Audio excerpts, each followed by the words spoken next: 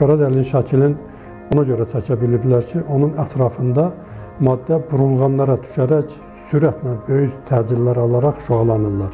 Ətrafı şoalanır. Ətrafının o formasına görə deyirlər qara dəliyin e, ölçüsü bu qədərdir, harda yerləşib, koordinatları nə qədər o, o belə foto, e, fotoqrafiyasını veriblər. Son vaxtlarda internetdə biz hamımız gördüyümüz o e, qara dəlinin fotoqrafiyası deyilən şəkillər onun ətrafından gələn bizə məlumata görə onun e, təsəvvür elə o cür təsəvvür edib elə elə də çəkiblər. Dünyanın bir çox e, astrofizika rəsədxanalarından alınan məlumatlarla ümumiləşdirirlər.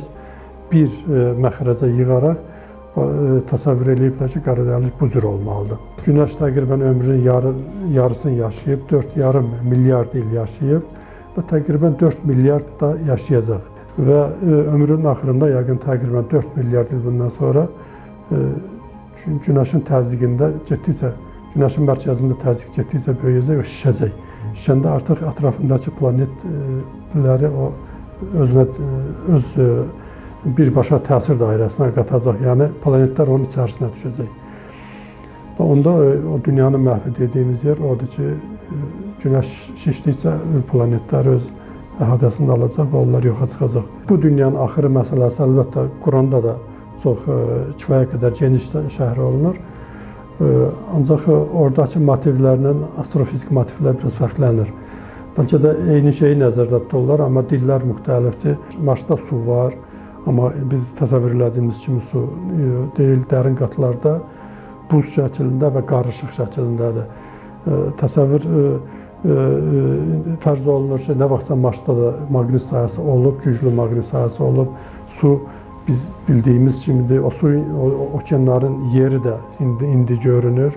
Ona görə onu belə fərz eləməyə e, güman eləyirlər və getdikcə maqnit sahəsi yoxal çıxdığına görə e, olsun ki, Marsın atmosferi də tədricən dəyişib, e, o minbi şərait pozulub və oradan e, e oradakı e, həyat varsa yoxa çıxıb.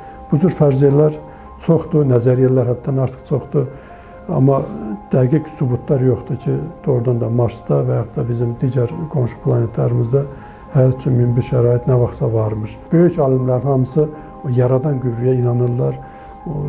Yəni e, e, yaradıcı mövzu, e, yaradıcının mövcudluğuna inanırlar çünki bu elə belə kör-körşarana şəkildə təbiət bu miqyasda olan təbiət o incəliyinə yarana bilməzdi.